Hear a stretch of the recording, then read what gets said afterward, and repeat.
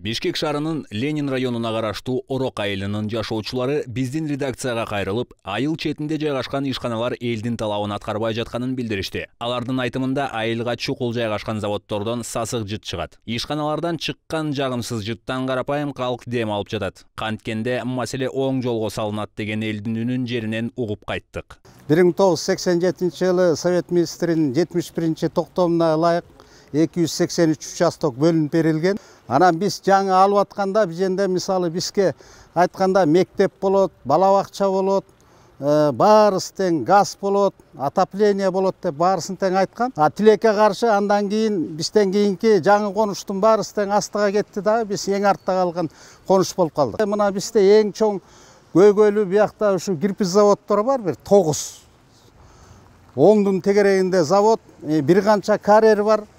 Ошол жактан мисалы келген түтүн ушул жерде смог болуп турат. Бир канча жолу уже жогору жактагы инстанцияларга кайрылдык жооптору келген. Баарыбыз тең эле эхтех инспекция мурунку тиги министр кутановага да жазганбыз. Кутановага жазып ал болсо ушул сокулуктун эхтех инспекциясына жиберип алар келип мына карап атабыз аны муну ошону менен эле ошо жок болуп кетет. Же акчаларын алып алышабы же кандай түшүнбөй койдук ленин районунун акимине айтсак ал киши айтат мен эч кандай жаба албайм дейт заводдор жок кездерде бул жер таза абасы таза болчу биз шаардан атайын жерге келген элек бул жерде заводдордо мурун фильтрация коюлат фильтрация деген жок азырчы фильтрация ал деген биз сураштырып келдик сураштырып келсек ал деген кымбат экен да. Ошон үчүн алар койбойт экен анан мындай болуп атат да бул жерге акими да келди ага да айттык губернатор келди ага да айттык баары айтылып чыкты. Болуптур биз чечебиз штраф салдык аким да келип кеткен. Биз мынакей бүтүрөбүз талкалайбыз деп коюп жок. Ошол үчүн мынакей ороктун тургундары мына монтип айла жоктон кайрылып жатат. Садыр жапарович гана кайрылып каныбыз калды. И камчыбек ташиев гана кайрылганы калдык. Орок айылынын жашоочусу айгүл шеримбекова жергиликтүү эл учурда иштеп жаткан ишканаларга барып ал жердеги абал менен таанышып көрүп чыгышканынан айтса кесиби боюнча дарыгер гүлзат айым жагылган дөңгөлөктөрдөн чыккан жагымсыз жыт айыл тургундарынын ден соолугуна терс таасирин тийип жатканын билдирди түн ичинде уктабай албай калдык ачуу бир кандайдыр бир билесизби химикалык бир зат чыгат да ошол жерденчи көк түтүн чыгып атты анан ушул жерде бир он он беш чактуу киши барып ошол кирпич заводуна кирип биз көрөлүчү эмне жагылып атат бул жерде десе деп э, өзүбүз көз ирмем кылып келдик да. Анан ошол жерде колдонулбаган бүт дөңгөлөктөр и ошондой эле сарайында э, кезилген кезилген дөңгөлөктөр туруптур бул ушул дөңгөлөктөр э, кошулуп э, көмүрдүн жанында салофанный мешочек баклажкалардан бери туруптур отход да мындайча айтканда көмүрдүн жыты башкача го ачуу жыт жыттанып атканда бул эмне десек резинанын жыты да. Анан элестетиңиз биз бул орок айылы бир эле кыш сезону эмес. Жайы кышы күзү жазы дагы ушуну жыттап келатабыз да. Замер воздуха датчиги бар. Биздин кошуна ошо биздин биякта эле жашаган жаран эжекебиз атайын ушул датчикти эшикке алып чыгып э, текшерип көрөлүчү ушул орокто аба ырайы кандай экен? деп көрөлү дедик. Саат ошондо бир э, кырк эки түнкү саат бир кырк эки болуп атат да.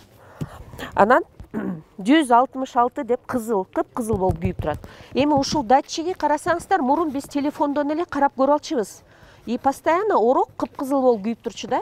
А сейчас сейчас азыркы учурда ал датчик алып тасташкан биз көрө албайбыз орок өчүк он жетинчи сентябрь мына өзүңүздөр көрөсүздөр он жетинчи сентябрь эки миң жыйырма төртүнчү жылы момундай жагдайды көрсөтүп атат бул еще сааты убактысы бир кырк эки болуп атат а түндө үчтө төрттө укмуштуудай жагат буларчы чыкканда тим эле биз уже ишенсеңиздер терезебизди ача албай калдык терезени ачсаң терезенин жанына келсең деле ошол жыт жыттанат бир какой то бир непонятный запах эң башкы нерсеси жаккан жер бул таза аба болчу орокто ошону эле сүйүнүп шаардан алыс шумдан алыс абасы таза.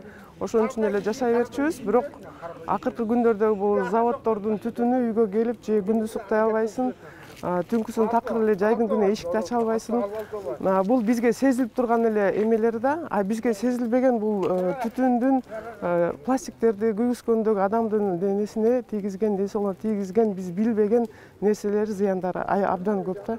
Эми аны азыр айтсаң бут баары биохимия болуп кетет. Кажети жок деп ойлойм бирок эң негизгиси бул эмне кылат? Днкны повреждает. А бул биздин эмнебиз днк деген биздин код генетический код. Мына кичинекей балдар төрөлүп атат келин кесектер боюнда бар. Алар кандай болуп төрөлөт кандай болуп чоңоет.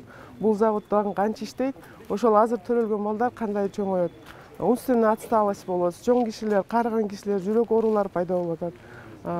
Астмалар көбөйүп атат. Булганган аба менен катар айылда мектеп жол маселелери да бар. Энелер аба келечек муундун калыптанышына терс таасирин тийгизерин айтып кейишти баягы сүйлөгөндүн оозу жаман ыйлагандын көзү жаман дейт эми биз айтсак жаман көрбөңүздөр.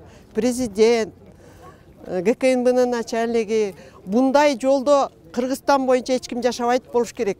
Бул союз убагындагы жолду унчукпай озуңар жаап тургулачы деп эптеп жамап кетет. Бир жамгырдан кийин болезнь да калбайт анан баягы эле чукулган жерде кетебиз. Эми автобус байкуштар жаңы автобустар келди. Жалко ушуларды.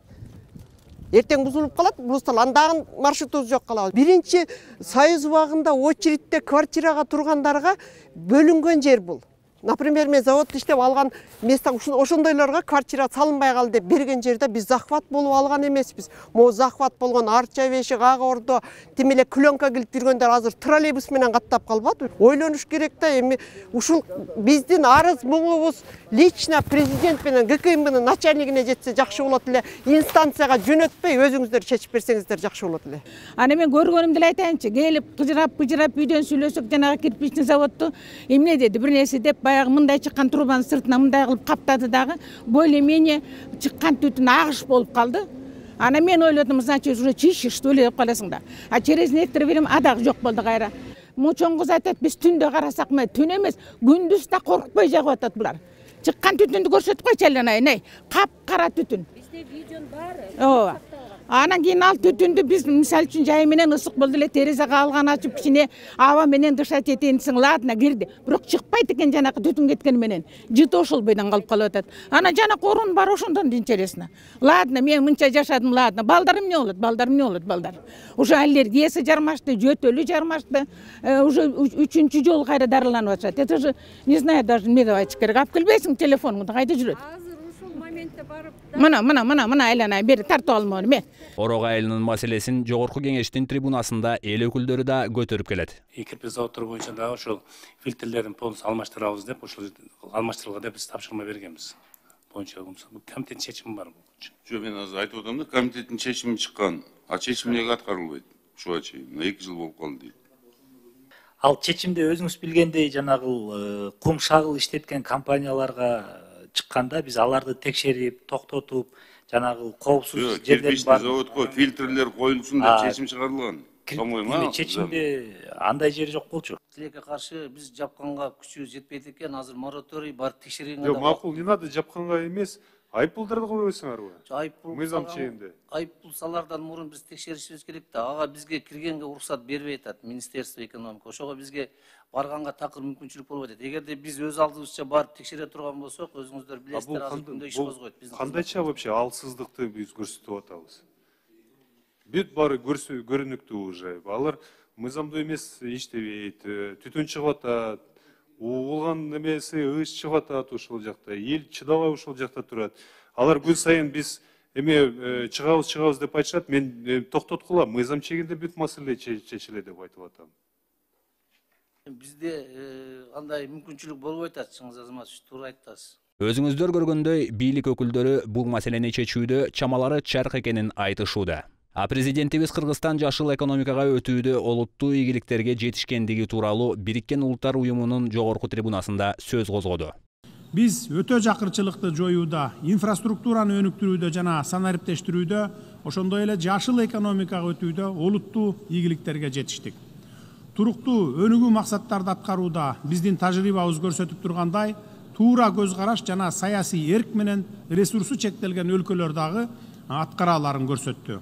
А реалдуу турмушта өлкөбүздө чечилбеген көйгөйлөр көп экендиги көрүнүп турат. Эл президент садыр жапаров менен укмк төрагасы камчыбек ташиев өздөрү жеке көзөмөлдөрүнө алса экен деген үмүт менен күн кечиришүүдө